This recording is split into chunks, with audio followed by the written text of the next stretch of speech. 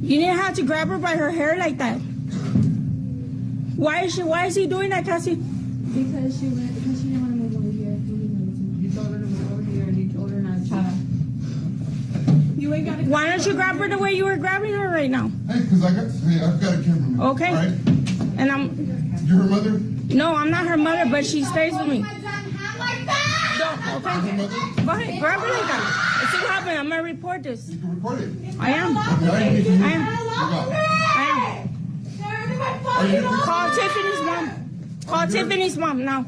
No. Call Tiffany. gonna pick her up? No, She's on her way. call Tiffany's mom. Call Tiffany's mom. This is her. Don't worry about it. Okay, I need your ID if you're picking her up. No, I'm I'm with the principal. I'm talking to her. Why? Because I'm recording you.